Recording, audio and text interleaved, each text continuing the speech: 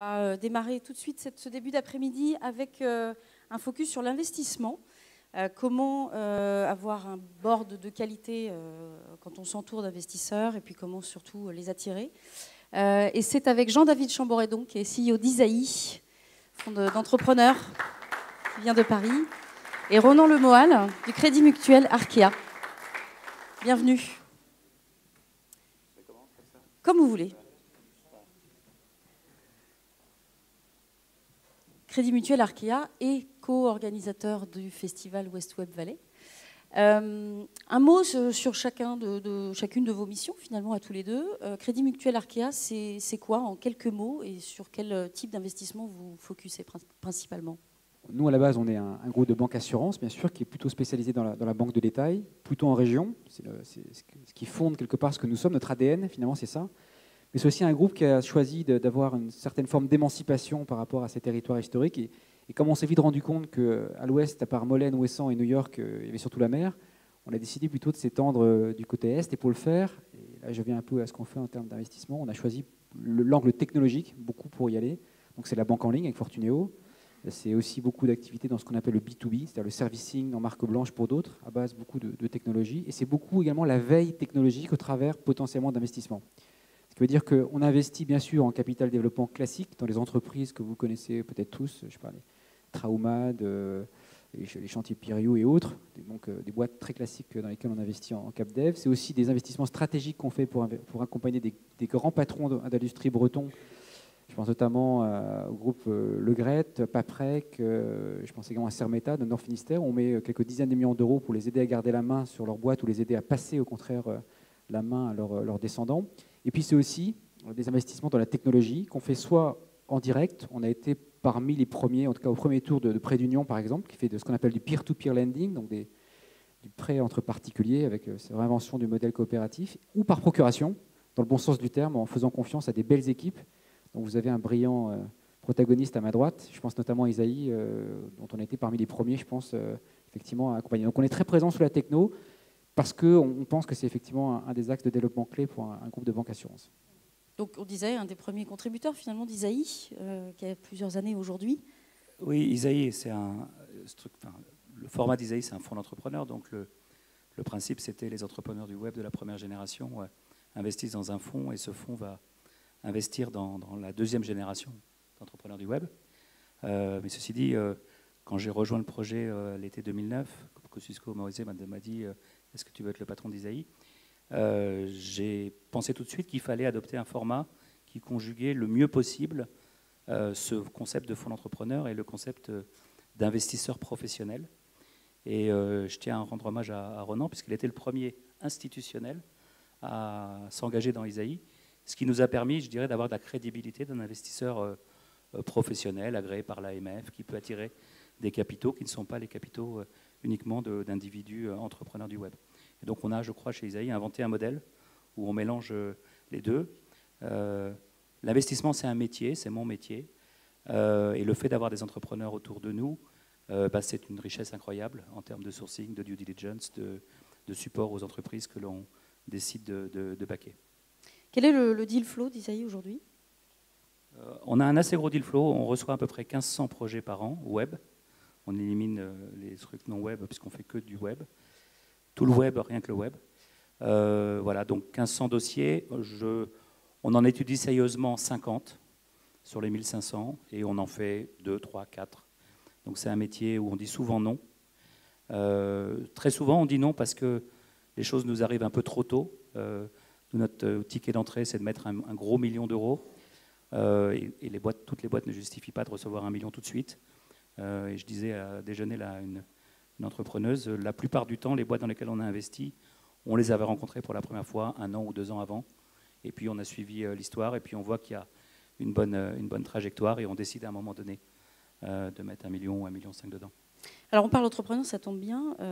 souvent on entend ah non moi j'investis d'abord sur l'équipe ou non moi plutôt j'investis d'abord sur le produit, sur, sur l'idée. Quel est euh, ton, regard euh, Sur quoi Isaïe tranche tout de suite sur un dossier? Le, métier d'investisseur, c'est un métier assez bourrin. Hein. Euh, on, tique, les, les, box. Alors c'est vrai qu'une mauvaise équipe avec un bon projet, c'est moins bien qu'une super équipe avec un mauvais projet. Donc l'équipe, c'est clairement un facteur déterminant.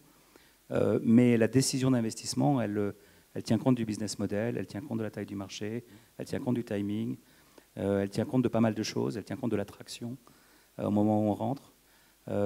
donc oui, l'équipe, c'est un facteur déterminant pour avoir vraiment envie de faire un deal, mais ce n'est pas suffisant. Et pour toi, non C'est quoi le, le, Je suis un peu dans le même registre. Près d'Union, par exemple, pour un exemple concret, quand, on les a vus, au final, il s'avérait que c'était un bon projet, effectivement, même un très bon projet, qui arrive à un moment où le marché de, finalement, de tout ce qui est euh, collaboratif, coopératif se développe euh, très très fortement. Surtout avec euh, le Landing Club aux États-Unis, avec Renaud Laplanche. Donc le modèle assez vite nous a paru bon, même si on a identifié ce que dit Jean-David. C'est pour ça d'ailleurs qu'on les a, entre guillemets, un an avant qu'ils n'aient démarré, renvoyés dans leur 22, c'est qu'ils sont arrivés avec un projet qui était trop consommateur de fonds propres. Je ne vais pas rentrer dans le détail, mais ils avaient un modèle qui faisait que pour un acteur comme nous, il fallait remettre au pot tous les ans, même si le projet était bon. Et donc, ce n'était pas intrinsèquement très très bon pour la rentabilité. Donc, on les a, je me rappellerai toujours, sont venus dans mon bureau, euh, je les ai accueillis avec quelqu'un qui bosse avec moi. Ils avaient fait l'effort de venir à Brest déjà, ce qui est pas mal. Je, le dis parce que c'est un détail, mais c'est important. Et donc, ils sont repartis, mais ils sont revenus un an après. Ils sont revenus un an après, ils avaient fait deux choses qui me paraissent fondamentales. Un, ils nous avaient écoutés. Ils avaient un côté éponge.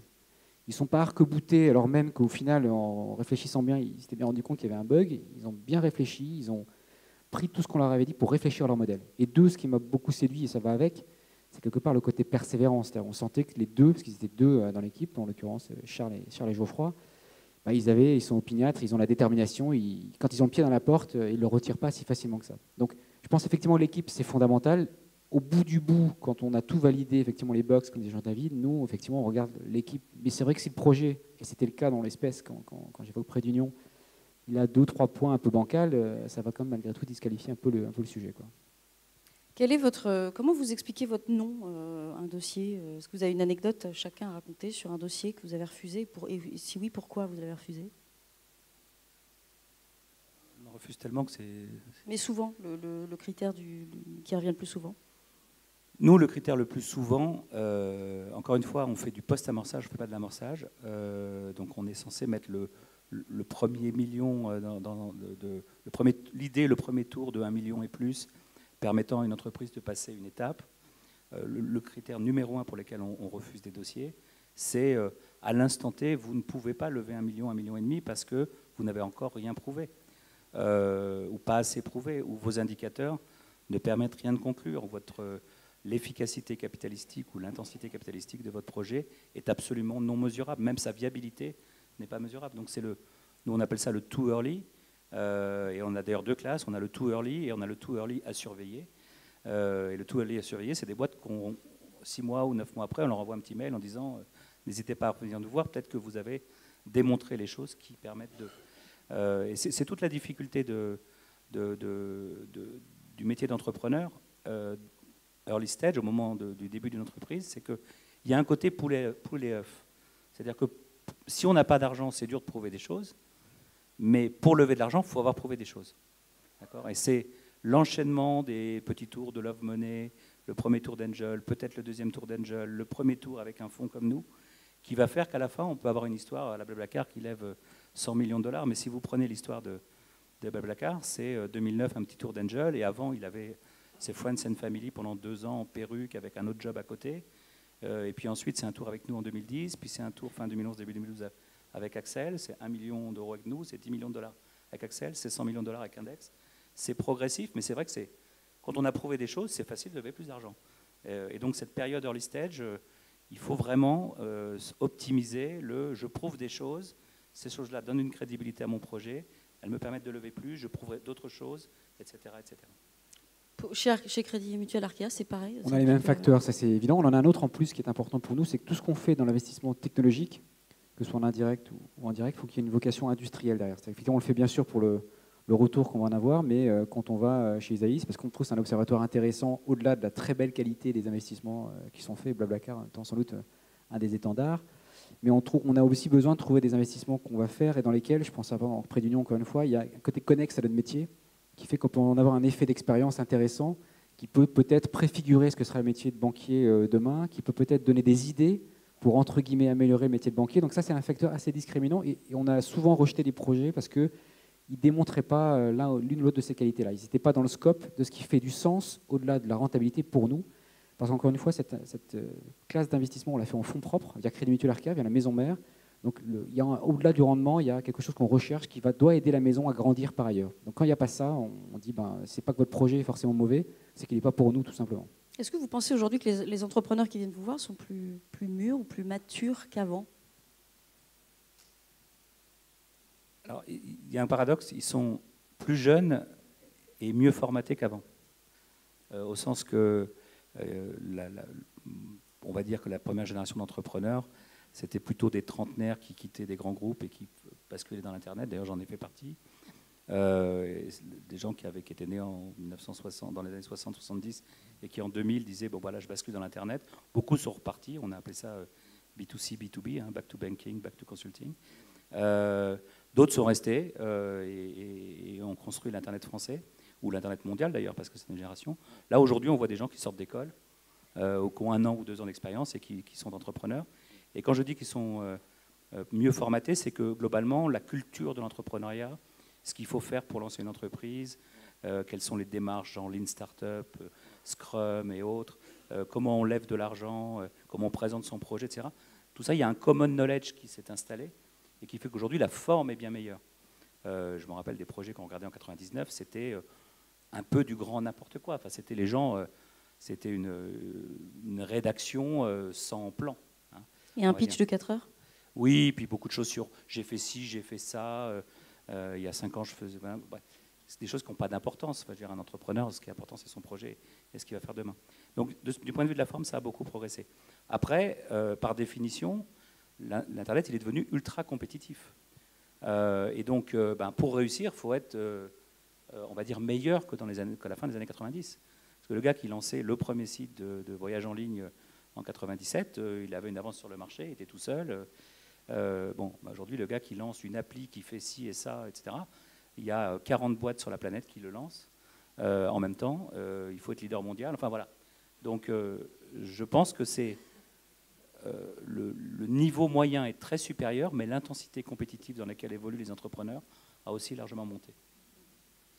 Par rapport à ça, moi je pense qu'il y a deux points. Alors, chez les, équipes que nous on voit et qu'on accompagne, parce que c'est quand on a passé le stade, on les a entre guillemets triés c'est ce que j'avais tout à l'heure. Je trouve qu'il y a, des très bons en tout cas. Il y a une très grosse capacité d'éponge et d'écoute. Moi, c'est quelque chose qui me frappe beaucoup parce que pour être euh, parfois dans des boards euh, aussi, c'est comme compliqué parfois quand on a 28-30 ans de s'entendre dire trois boards de rang, euh, ton idée que tu croyais géniale, elle est mauvaise, retourne à tes études et revenir en ayant écouté, en ayant la maturité qu'il faut pour prendre du recul par rapport à ça, pour être capable d'en tirer les enseignements et de revenir avec une copie qui est meilleure. Ça, je trouve que c'est quelque chose qui est assez intéressant.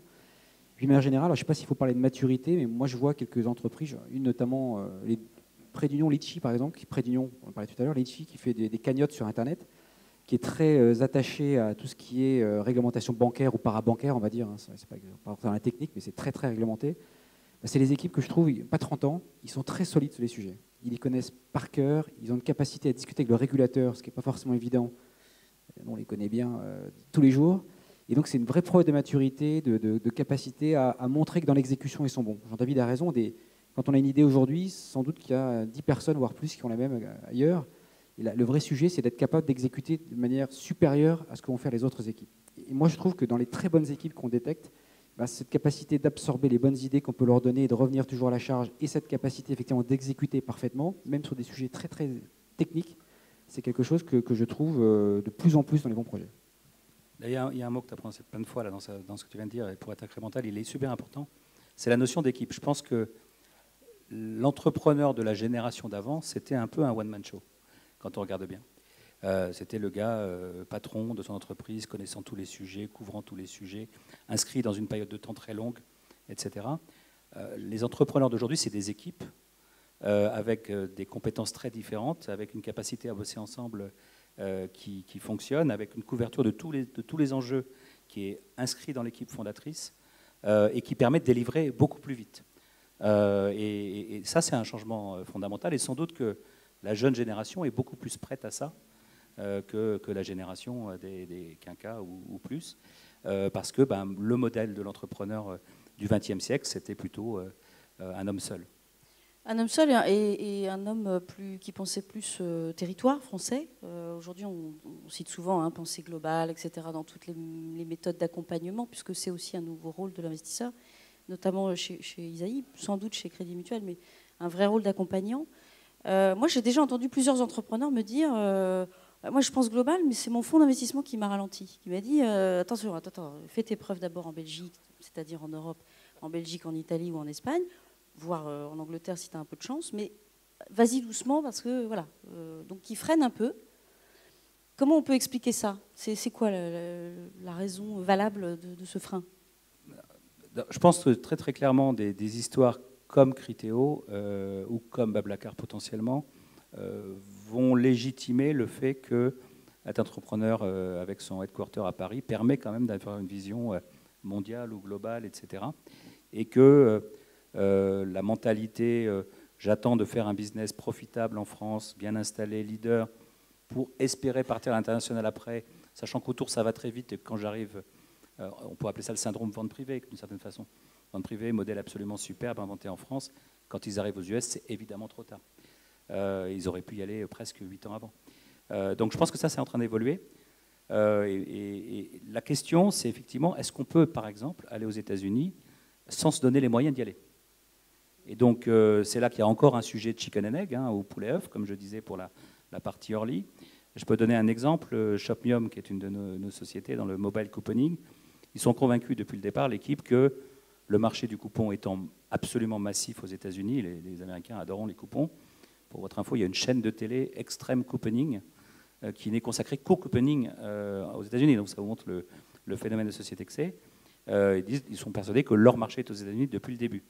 Et on a attendu d'avoir les moyens d'y aller. Parce qu'avec le, premier million et demi qu'on avait mis, nous et Axel, ben, ce n'était pas raisonnable de s'installer aux US. Puis on a relevé un tour de table en 2013, je crois de 4 millions et des poussières. Et là, euh, un des fondateurs est parti à New York et le business commence euh, très très bien aux États-Unis, etc. Donc le pire qui puisse arriver, c'est d'y aller un tout petit peu. Parce que si je vais à New York pour dire bah, finalement, euh, j'ai rien réussi à faire parce que j'ai même pas réussi à louer des locaux, parce que j'avais pas les moyens, euh, bon voilà, c'est pas y aller quoi. Donc c'est ça qui est compliqué à, à, cranter, euh, et il faut être capable de démontrer suffisamment de choses pour pouvoir lever des fonds, pour être capable ensuite de, de partir à l'international. Mais c'est vrai que le, le, côté je pars aux US plutôt que je m'occupe de l'Allemagne et de l'Angleterre est en train de devenir euh, un phénomène pour les startups françaises. Et je pense que c'est finalement quelque chose d'assez intelligent. Mmh. Un mot sur l'internationalisation. Dans, les modèles de, B2C, Blablacar étant un très bel exemple de tout ça, où encore une fois, près du Nord, on était ainsi. Le côté penser grand, c'est hyper important. Ce sont les bonnes équipes. Frédéric il parlait tout à l'heure, Frédéric n'a pas de limite avec son équipe. Il pense grand, il voit le business qui peut être mondial, et donc il faut aller assez rapidement sur euh, ce genre de, sujet. Pour autant, il ne faut pas faire de l'eau tiède non plus, comme disait Jean-David, il ne faut pas faire un truc qui soit un peu au milieu. Et donc nous, ce qu'on dit toujours, c'est qu'il faut qu'on se mette d'accord sur ce qui fonde la capacité à ensuite passer à l'étape d'après. Rapidement, sans doute, mais qu'est-ce qui fera qu'on sera capable d'aller à l'étape d'après? Pour moi, il y a au moins deux ingrédients. Le premier, c'est d'être mis d'accord sur le fait que les métriques qu'on avait dit qu'on allait mesurer pour s'assurer qu'au moins ça démarre, ben, ils sont bien en rendez-vous en termes de, de niveau. Et deuxième, encore une fois, c'est l'équipe. Nous, euh, si c'est pour faire effectivement quelque chose euh, à, mi-chemin entre euh, rien et un petit début avec des équipes qui ne sont pas capables de se passer des patrons fondateurs sur le site français, par exemple, quand c'était en France qu'on démarre, on n'en veut pas.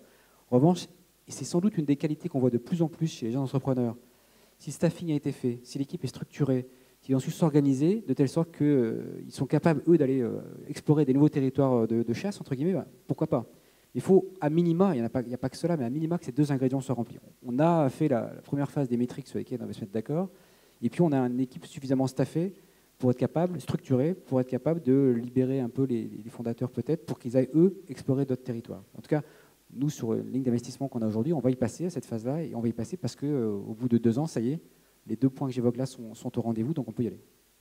Une des thématiques de cette table ronde, c'est gérer finalement avoir un board de qualité. C'est quoi pour vous un board de qualité? Pour moi, c'est un board euh, qui gratte un petit peu. Je pense qu'il ne faut pas chercher des gens. Euh, en tout cas, souvent les entrepreneurs, et c'est bien d'ailleurs, ils ont au-delà des, fonds qui, bien entendu, ou, des gens comme nous qui investissent, euh, qu'ils ont des gens qui viennent parce qu'ils ont des sièges de conseil par définition, parce qu'ils ont mis de l'argent. Mais ils cherchent aussi à s'entourer d'autres types de personnes.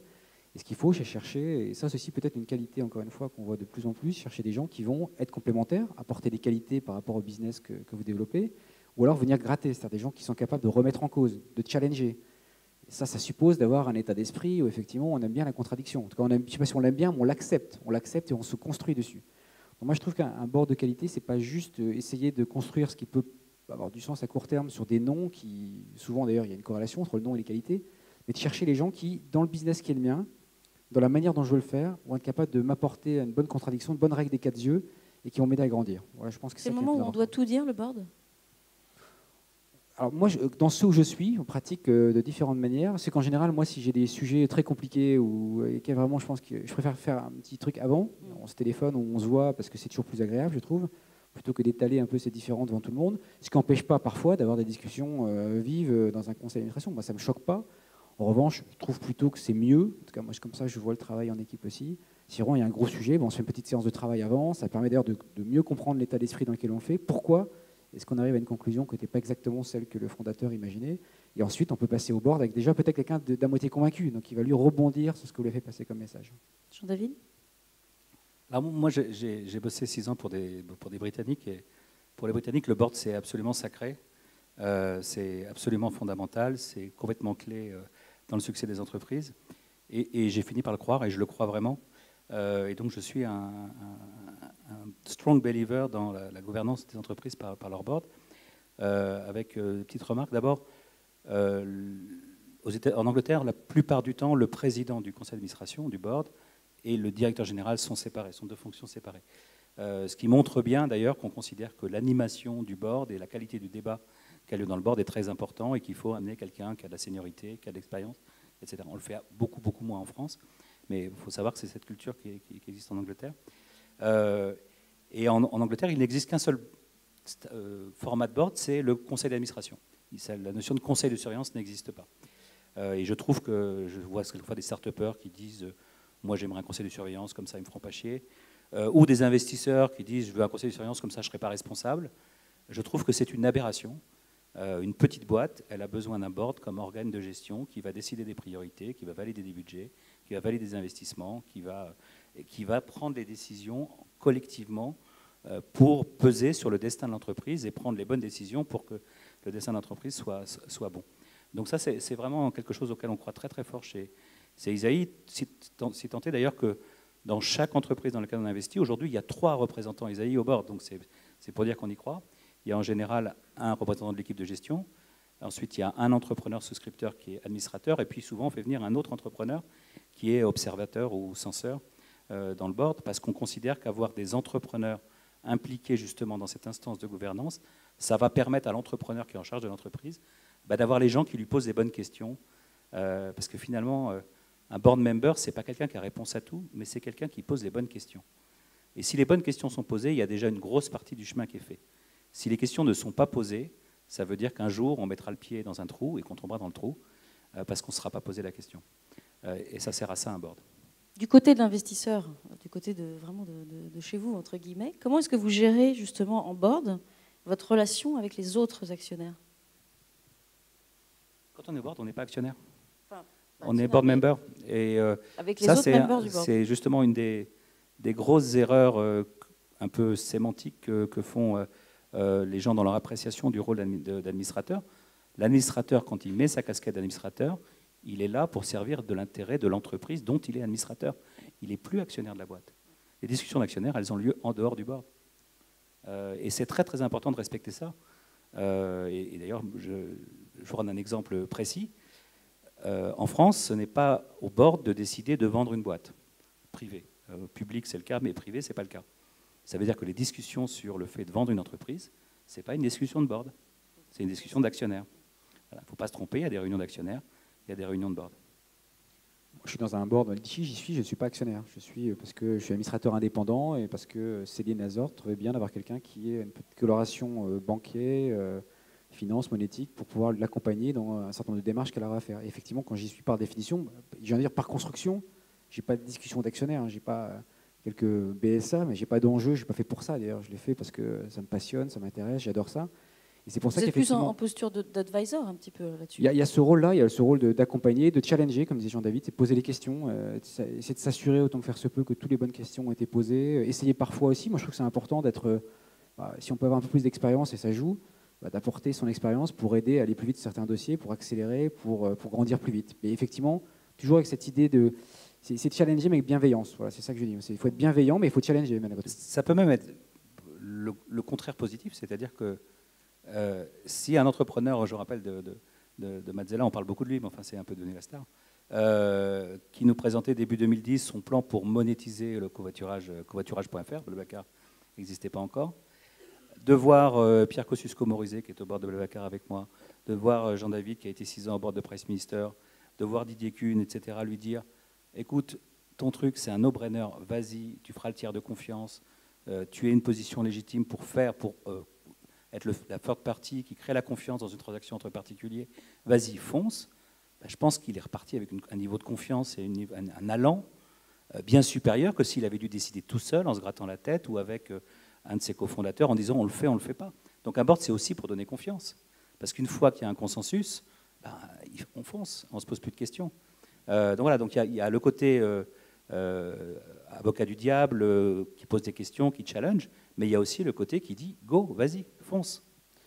Pour rebondir sur ce que dit Jean-David, je crois que c'est important, c'est qu'effectivement, il y a tout ce côté-là, et puis il y a le côté, toutes ces personnes, Frédéric, Erwan hier en parlait, et tous les autres, ils ont un grand trait commun, c'est qu'ils ont une capacité euh, de, ne jamais lâcher qui est énorme. C'est des, gens qui accrochent très très fort tout le temps, tout le temps, tout le temps. Et pour autant, comme tout le monde, ils peuvent avoir ou des coups de moins bien, ou alors, parce que c'est dur. Hein, Frédéric me rappelle sa première discussion, on en reparlait tout à l'heure avec lui euh, quand je l'ai rencontré, il m'a dit je peux manger des pâtes pendant très longtemps. Ça coûte 49 centimes d'euros chez Carrefour, ça peut durer très longtemps. Sous-entendu, euh, moi j'ai envie d'y arriver, j'y arriverai avec mon équipe. Mais comme dit Jean-David, je pense aussi que parfois on est là tout simplement, en tant que board member, pour écouter, aider, remonter le moral, donner confiance, faire en sorte que, bon, bah, écoute, tu, voulais tirer encore plus fort, vas-y plus fort encore, ça va marcher. Et, on sait tous que, on est tous fait comme ça d'ailleurs, que quand on nous donne de l'énergie positive, euh, bizarrement, on retient moins les coups, entre guillemets, et on y va plus fort. Et si on a en plus des gens de qualité, ce qui dans bien des cas est le cas, alors ça donne des choses extraordinaires comme Blablacar par exemple. On parlait ce matin, on évoquait en table ronde un petit peu la, fin du top-down dans le, management en entreprise. Qu'est-ce que vous pensez euh, d'un board qui intègre des collaborateurs de l'entreprise? Est-ce que déjà c'est le cas? Est-ce que c'est, ça, commence à venir? Est-ce que c'est marginal? Ou est-ce que... il y a des obligations légales en France qui font qu'à partir d'un certain seuil, euh, il doit y avoir des, membres représentants du personnel qui sont invités. Alors je ne sais jamais si c'est le, CE. Maintenant, ils sont ils étaient CCE ou CE avant, et maintenant ce sont des salariés qui seront eux-mêmes administrateurs. Ils auront le, statut d'administrateur. Euh, c'est quelque chose qui est, euh, que j'ai vu pratiquer soit de façon totalement transparente et totalement efficace. Je prends l'exemple de Price Minister, on avait deux salariés qui étaient là, à tous les bords, tous les que Dieu fait, et ça s'est extrêmement bien passé. Euh, j'ai vu des cas aussi où on faisait euh, des conseils d'administration formels où il y avait les salariés, puis des réunions qui n'étaient plus des conseils d'administration où il n'y avait pas les salariés. Bon, c'est plus hypocrite, mais enfin, euh, c'est le choix souvent du, patron d'entreprise de le faire. Il faut faire attention à deux, à deux, phénomènes, surtout dans les petites boîtes, ou les pas grosses boîtes, ou les PME. un, qu'un board ne soit pas trop nombreux, il n'y a pas trop de monde participent au débat, parce que c'est évident que animer 12 personnes, c'est pas pareil que d'en faire fonctionner 5 ensemble. Euh, et deux, que l'opérationnel ne soit pas le sujet numéro un. Euh, que effectivement le débat s'élève et que des sujets euh, un peu plus euh, stratégiques soient vraiment l'ordre du jour du board. Et donc le danger, c'est pas tellement d'avoir des salariés, c'est d'avoir trop d'opérationnel autour de la table. parce qu'à ce moment-là, on, se met à, à, faire un board qui fait du micro-management, euh, et le micromanagement, bah, ça n'apporte rien, parce qu'en fait, les managers, ils sont très capables de faire le management. Donc, euh, s'ils ont besoin d'un board, c'est sûrement pas pour les aider à faire du micromanagement. On va passer à, quelques questions de la salle. Euh, j'imagine que vous en avez. Il y a un micro qui va se balader pas loin. Qui veut poser une question?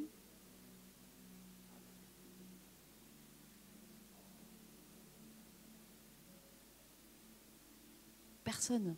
Oh, si. C'est toujours la première question.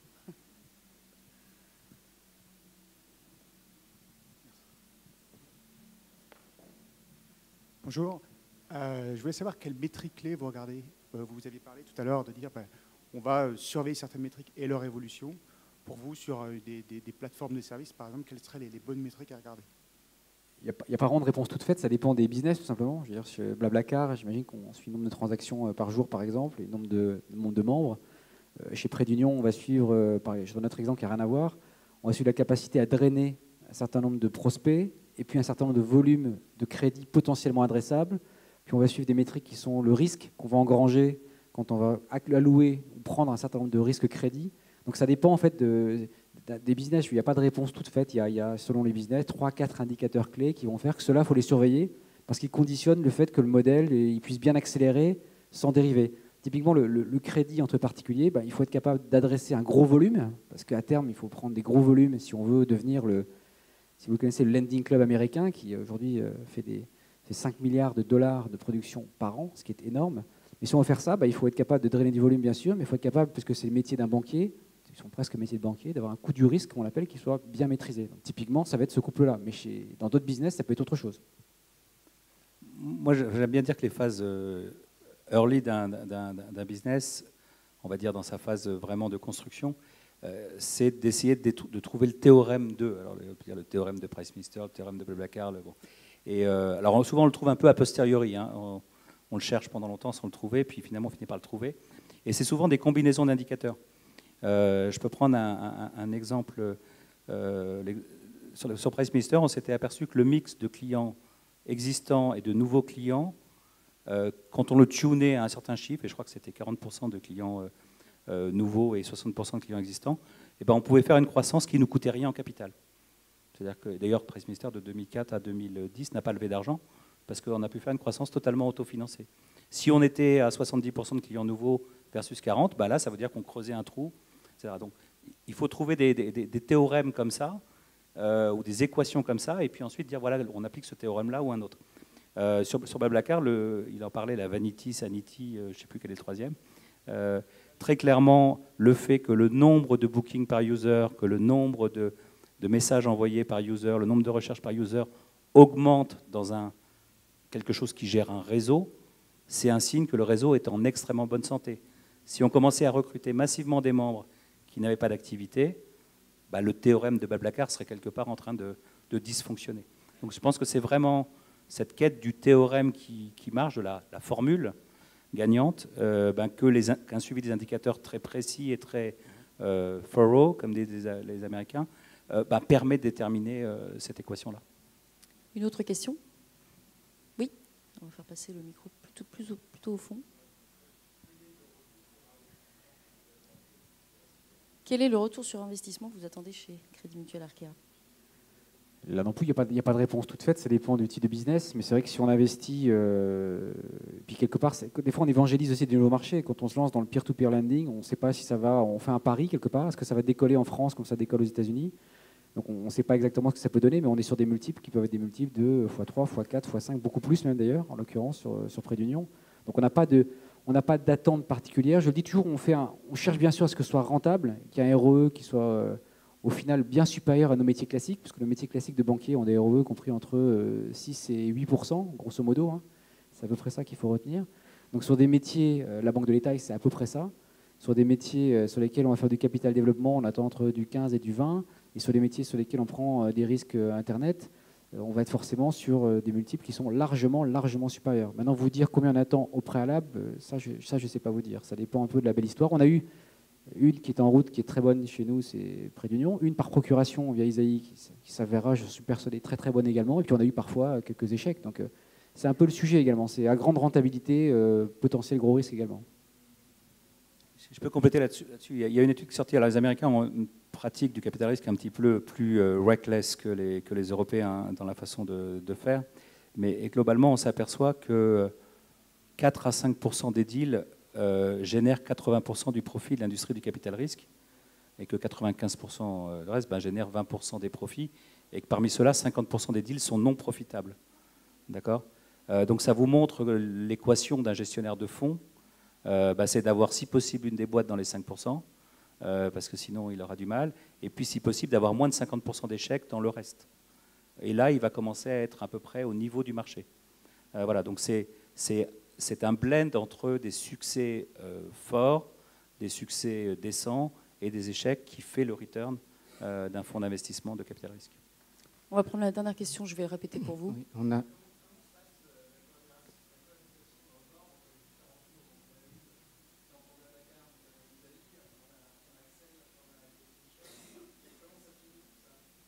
Comment cohabitent les différents fonds? Enfin, je ne sais pas ce qu'il y a derrière la question, c'est quel serait le souci?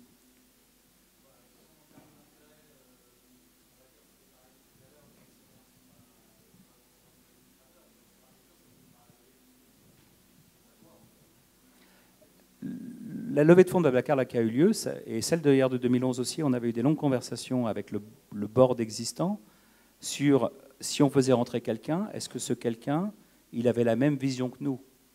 Et est-ce qu'on avait les mêmes, on avait des ambitions avec des expectations qui étaient euh, euh, compatibles, hein, alignées. Là, le, sur le dernier tour avec Axel, clairement, la taille du tour, qui est beaucoup plus importante que ce qu'on avait prévu, permet d'être beaucoup plus ambitieux et d'aller attaquer des géographies hors Europe, type Inde, type Brésil et autres, ça a fait l'objet de grandes discussions entre nous avant qu'Index ne rentre et avec Index sur le fait de dire voilà, est-ce qu'on a bien compris toutes les conséquences euh, de, ce gros tour de table et de cette ambition qu'on se donne et est-ce qu'on est tous d'accord pour y aller? Une fois qu'on a checké ça, euh, voilà, il y a, euh, quand Dominique est arrivé au board, Dominique Vidal, on a dit bienvenue au board. Voilà, enfin, ça, c'est aussi simple que ça. Par contre, faire rentrer quelqu'un actionnaire qui aura une place au board sans vérifier qu'il y a alignement sur les expectations, sur la stratégie, etc., c'est extrêmement dangereux, extrêmement dangereux. Un mot avant de, passer la parole à Michael Goldman de My Major Company sur le FIBAMI, le, baromètre que vous éditez chez, chez Isaïe, baromètre de l'investissement. Euh, ce n'est pas une très bonne nouvelle, il y a une baisse des investissements de la part des, business angels. Depuis en fait euh, fin 2012, Isaïe, on, traque, euh, on publie un indicateur, sachant qu'on faisait, on avait toujours traqué tous les deals d'angel qui étaient rendu public, soit par la presse, soit par les, newsletters de réseau de Business Angel. Parce que bah, nous, c'est l'amont de notre business, donc c'était normal qu'on les traque. Et suite à l'affaire des pigeons, on a dit bon, on va publier euh, euh, cet indicateur pour suivre et objectiver des chiffres qui sont euh, très mal traqués. Autant les, chiffres VC sont, sont, bien traqués, autant les chiffres Angel le sont, le, sont pas très bien. Et, et, donc pour le premier semestre 2014, on a un résultat qui est plutôt décevant, en tout cas qui moi m'a surpris désagréablement, c'est que le montant investi par les business angels dans l'Internet au premier semestre 2014 est équivalent à ce qui avait été investi en 2013, mais le nombre de deals a baissé de 20%.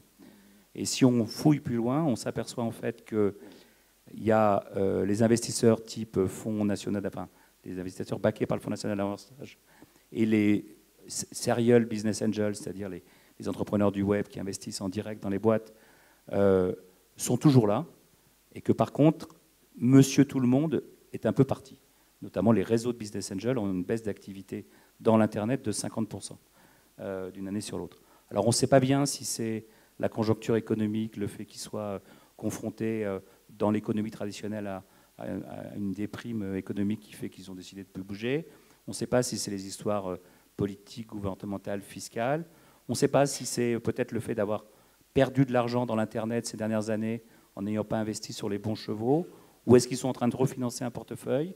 On ne sait pas bien, mais toujours est-il que ce marché où on est des nains en France, hein, euh, je rappelle un chiffre très simple, à PIB égal, les angels français investissent 25, 25 fois moins que les angels américains, à PIB égal. Hein. Ils ont un PIB un peu plus gros que le nôtre. Euh, donc ça veut dire qu'ils investissent 175 fois plus que nous au niveau des angels euh, aux États-Unis. Donc on est vraiment des nains. Donc ce tout petit chiffre, il devrait grossir. L'Internet est en forme. Euh, les, boîtes membres de France Digital ont annoncé une croissance moyenne de 40%, une croissance effective de plus 20%, etc., etc. Et pour autant, cet étage de la fusée qui est fondamental, euh, eh ben, il est euh, en concentration et pas en expansion du tout. Et donc, c'était plutôt décevant de, constater ça. On verra ce qui se passe sur le deuxième semestre. Mais ça semble, enfin, il semblerait que ce phénomène de concentration sur un écosystème qui est très vivace, très vibrant, mais qui ne grossit pas, est quand même la caractéristique de, de, notre écosystème en France. Merci Jean-David, merci Ronan. Je pense qu'on peut les applaudir. Merci beaucoup.